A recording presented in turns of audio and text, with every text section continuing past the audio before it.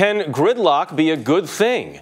Maybe when it signals the economy is doing better. A report from Texas A&M University found that traffic in most metro areas in this country got worse last year compared to 2009. Uh, in some places, though, like Washington, D.C., traffic levels remained about the same because unemployment levels there are so high. The report says that the U.S. is missing an opportunity to expand roads and public transit when congestion is down. Congestion last year cost $101 billion, about $750 in time and gas for every commuter.